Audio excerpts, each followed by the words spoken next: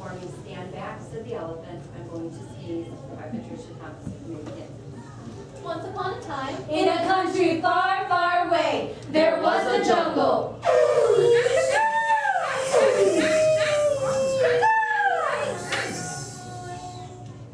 and in this jungle the animals lived in fear of the day that one of their own would once again wreak havoc on their land. The elephant, normally quiet and reserved, yet hiding a dark secret and strike terror into the hearts of even the stoutest beast. Dr. Dolittle himself could not have predicted the terrible consequences that could be wrought from so simple an act, Stand back! said the elephant. I'm going to sneeze. I hate to alarm you, but I don't wish to harm you. My friends, I hear is fear. Oh dear, you better stand back. I'm going to sneeze! Oh no, oh no. Sad, lonesome voice cried the buffalo. You're so big and strong, and your trunk is so long. Your sneezes sent everyone flying along, bumping and thumping down pathway and trail, bouncing and jouncing, head over tail, tumbling and bumbling. Your sneeze is a gale. Or a hurricane. I hate to complain, but please don't sneeze. Oh, oh please don't sneeze. Cried the monkeys tree. You make such a breeze when you sneeze. The last time you blew us right out to the trees. The branches began to bend and to sway. And some of us landed so far away. Didn't get back until the very next day. The leaves all went whirling and bumbling and twirling. And that flower shook for hours the last time you sneezed. Even a cough would knock some of us off. Oh, please don't sneeze. With a shriek, the parrot opened her beak. The elephant says he's going to sneeze. Oh, elephant, please. Cried the birds in the tree. The last time you sneezed, we lost every feather. We didn't know whether we'd ever get back together. Every parakeet was bare as a sheet from his head to his feet. What's more, all the whales had peacock tails, and the wings of the cockatoo were stuck on the kangaroo. You must confess, it was quite a mess. Very confusing and not too amusing. Even a snuffleman's eye was Oh, oh, elephant, please, don't sneeze. The birds began to cry. Fly, fly! They called to the bees. The elephant says he's going to sneeze! Oh no, not a sneeze, not a sneeze. The last time he blew off our stings and our wings. And we had to make do with rose thorns and glue. A bee with no sting is a bee that's not scared. He's only a yellow and one that is. Furthermore, what a shock. We had to walk on our knees, if you please, And that's hard on bees' knees. while our wings grew back in.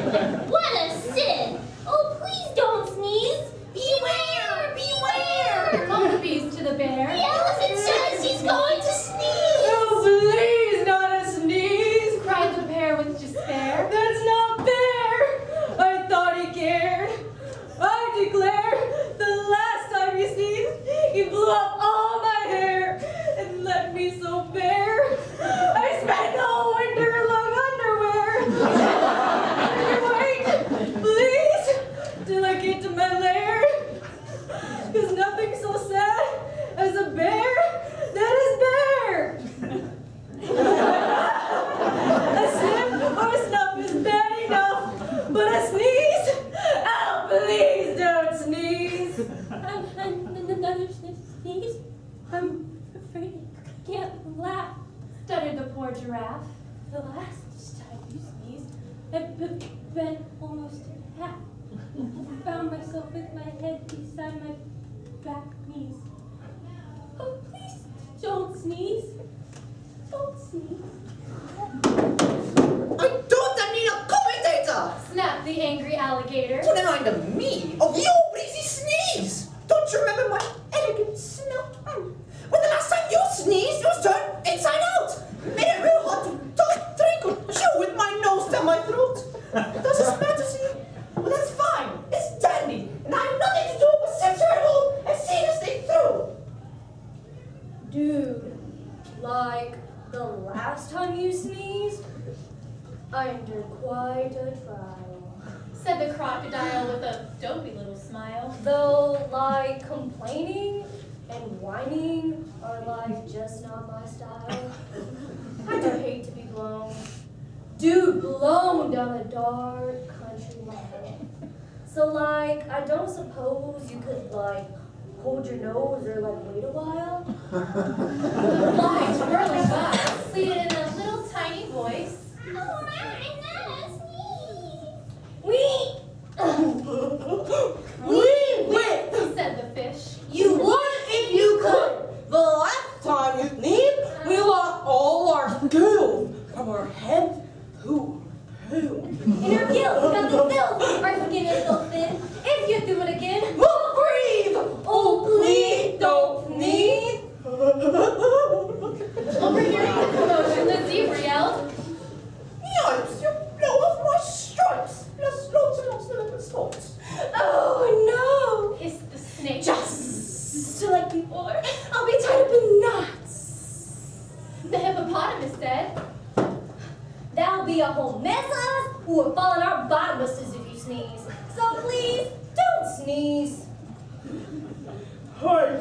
My friends. said the elephant sadly. About all of this, I do feel badly.